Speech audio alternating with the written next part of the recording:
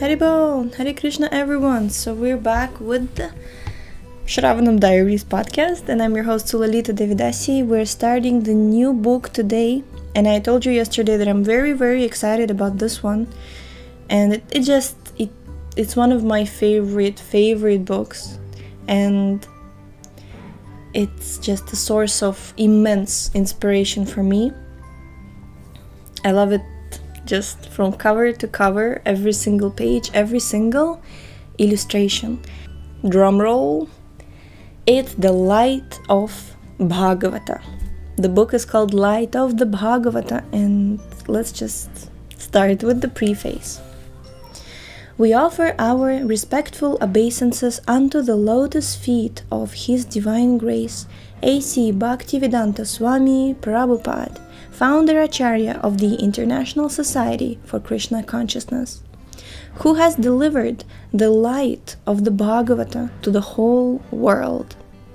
We are pleased to present, for his pleasure, this publication of his sublime work, Light of the Bhagavata. Of all his divine grace's writings, this work is perhaps the most unique it was written in Vrindavan in 1961, back then, in response to an invitation to attend the World Conference, the Congress for Cultivating the Human Spirit, held in Japan.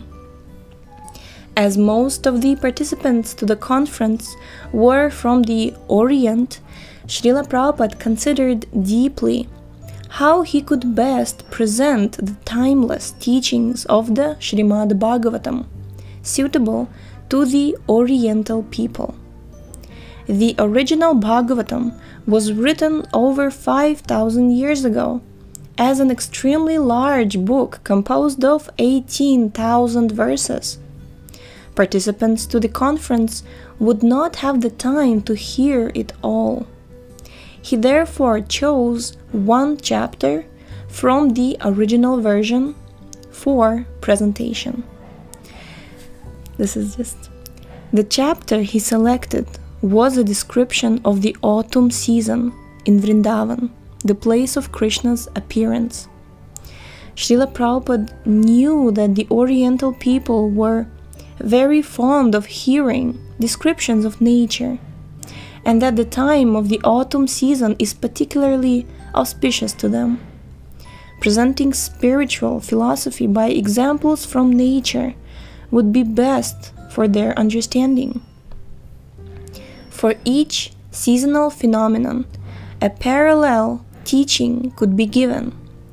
For example, the dark, cloudy evening of the rainy autumn season, when no stars are visible, is compared to the present materialistic, godless civilization, when the bright stars of the Bhagavata's wisdom, the devotees, and scriptures are temporarily obscured. Altogether, Srila Prabhupada composed 48 commentaries to go along with the verses of the chapter. Srila Prabhupada's plan was that the organizers of the conference should find a qualified Oriental artist to illustrate each verse, and he wrote directions for, from which the artist could design such paintings, each painting. He hoped that the paintings and their accompanying explanations would make an impressive display for visitors to the conference. If possible, he wished that there might be published a book containing the illustrations and the texts. Due to unfortunate circumstances, Srila Prabhupada was unable to attend the conference and the whole project of Light of the Bhagavata was postponed. In fact, at the time of Srila Prabhupada's disappearance, the Light of the Bhagavata still remained unpublished and the illustrations not yet painted.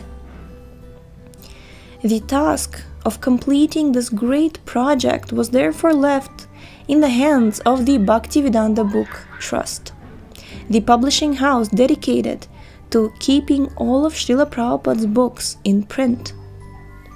Particularly, the work was assigned to the Hong Kong branch of the Book Trust, since Srila Prabhupada had meant the book especially for the Oriental people. After much searching, it was our good fortune to secure the help of the renowned artist, Madame Li Yun Sheng, whose mature creative talent and sensitive brushwork alone could properly complement Srila Prabhupada's beautiful descriptions of the autumn season. Thus, the beautifully effulgent light of the Bhagavata may now shine upon the world. The book has been divided into two sections to accommodate the tastes of different readers. Those who prefer to gaze with poetic imagination will appreciate the first section, which contains the beautiful color reproductions of Madame Li's work. 48 paintings completed in less than a year's time, meticulous in their detail despite her advanced age and sometimes failing eyesight. Undoubtedly, this collection presents the culmination of her long, distinguished career as one of the great artists of modern China. Her gong, gongbi, her gongbi style of painting, together with Srila Prabhupada's poetic descriptions, which appear alongside, make for a unique blending of the world's two oldest cultural traditions, India and China. Those readers who wish to go more deeply into the philosophy of the light of Bhagavata may turn to the black and white section of the book. There they will find the complete commentaries written by Srila Prabhupada, along with small miniature reproductions of the paintings to help identify the painting being described. The publisher. Mm-hmm.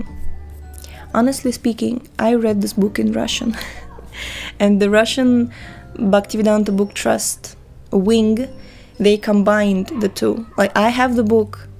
Um, humbly, just say the backstory. I received my copy of the Light of Bhagavata, Light of the Bhagavata, in Russian, when I was like six years old. In the temple, they were giving out gifts for the children because we were singing very nicely in front of the deities we were um, like a band from Moscow Gurukul who came to sing for Dayal Nitai Shachi and then devotees came and gifted all of us this book, Light of the Bhagavata. Very beautiful books, and um, in in in that um, edition, the paintings and the verses are side by side, colorful. So this last paragraph, I read it for the first time that in English they had this kind of um, layout. So, uh huh. We're going to stop here for today because I have some some noises around me from all directions. But tomorrow we are going to start, and I don't know. I remember I read it. I can read it over like over one evening because I, I can just go into it and I just can't stop because it's incredibly beautiful. And of course, I would not uh, deprive you of the opportunity to take a look at all of these wonderful paintings so tomorrow we're going to start text 1 and tomorrow I will publish a link where you can read this book online or purchase it or uh, read it on Kindle and I will take pictures of each of the painting and I will publish it along with the uh, book description on the website and I will put the link the link down for you in the in the episode description tomorrow, as well as uh, I think I will we will publish it on the um, social networks as well, Facebook and Instagram. Twitter doesn't take many images.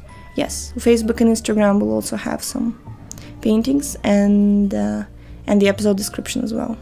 So today it's like a meditational episode that um, it's a very beautiful book and it's an incredible, incredible um,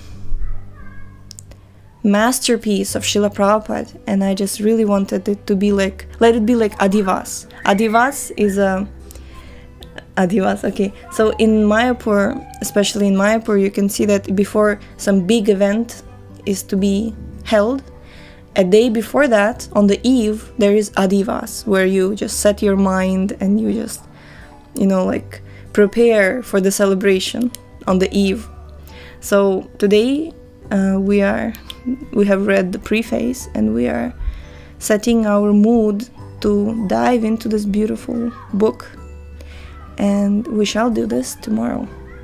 So thank you so much for tuning in today. The link to this book is going to come up tomorrow and we shall see you tomorrow. Hare Krishna.